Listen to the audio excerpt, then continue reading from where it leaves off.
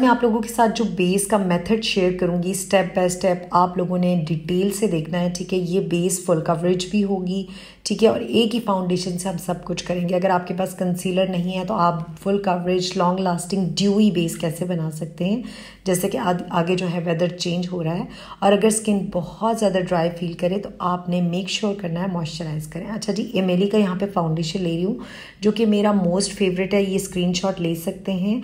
आप, और ब्रांड का जो नंबर है लिंक है, वो नीचे मैं मेंशन कर दूँगी। जिस पेज से मुझे ऑनलाइन ये जो है ओरिजिनल प्रोडक्ट्स रिसीव हुए हैं, ठीक है जो जो चीज़ें मैं यूज़ करूँगी, नीचे मैं मेंशन कर दूँगी उनका नंबर और सब कुछ वो आपने लेना है।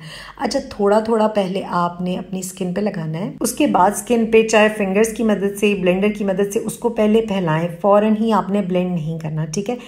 और यहाँ पे मैंने zero one zero two shade को बाद में मिक्स कर लिया था। अच्छा हमेशा आपने किसी चीज़ पे फाउंडेशन को निकालना है। मिक्स करके मेक श्योर sure करें, फिर आपने लगाना। अच्छा सेम फाउंडेशन अब आपने थोड़ा थोड़ा लेना है। फ़र्स्ट लेयर आपकी बहुत कम होगी। अगर दोनों लेयर्स आपने बहुत हैवी रखी तो बहुत केकी बेस होगी।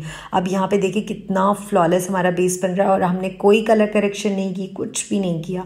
ये एक फाउंडेशन आपको कंसीलर का काम भी करेगा और ये क्योंकि बहुत ज़्यादा हैवी कवरेज भी नहीं है और बहुत इसकी ना थिक वाली कंसिस्टेंसी नहीं है। ये बहुत नॉर्मल सी कंसिस्टेंसी में आता है, जिसकी वजह से ईजी टू ब्लेंड होता है ईजी टू अप्लाई होता है। अब आप देखें कि मैंने बहुत कोशिश की है कि जितनी ज़्यादा ब्लेंडिंग आपको दिखा सकूँ, मैंने दिखाई है। अच्छा जी, आँखों को ऊपर की तरफ़ करके आपने नीचे ब्यूटी ब्लेंडर से हल्का हल्का ब्लेंड करना है और जब आपने पाउडर लेना है, उससे पहले मेक श्योर sure करें आपकी आँखों के ऊपर या नीचे कोई लाइन्स ना हो, दोबारा से ब्लेंड कर दें। अगर लाइन्स पड़ गई हैं, उसके बाद फिंस का ये पाउडर ले रही हूँ। नंबर वगैरह हर चीज़ स्क्रीन पर आप लोग देख सकते हैं और नीचे इनका नंबर और लिंक मैं मेंशन कर दूँगी जहाँ से ये मुझे ओरिजिनल चीज़ें मिली हैं, ठीक है?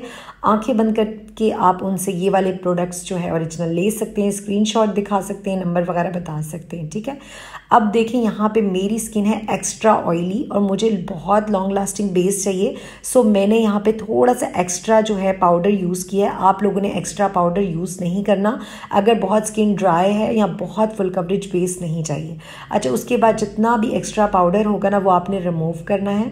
और उसके बाद हल्का हल्का मैंने कॉन्टोर कर लिया। मैं पर्सनली अपने फेस पे ज़्यादा कॉन्टोर पसंद नहीं करती, सिर्फ़ नोज़ को हल्का सा कॉन्टोर करती हूँ, लेकिन जब से डाइट वगैरह वेट कम हुआ है तो नोज़ भी प्यारी हो गया। अच्छा जी, मैंने ब्लशन कौन सा लगाया, वो भी आपने देख लिया। उसके बाद नीचे लूज़ पाउडर लाजमी रखेंगे।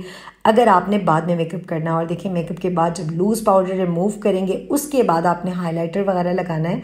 यहाँ पे टेन नंबर का मैं हाइलाइटर ले रही हूँ। हाइलाइटर ब्रशेज़ ये तमाम बेस की चीज़ें, ये तमाम चीज़ें आपको मैं नीचे लिंक दे रही हूँ। नंबर आपको उनसे मिल जाएँगे। को लाइक कर दें शेयर कर दें। अल्लाह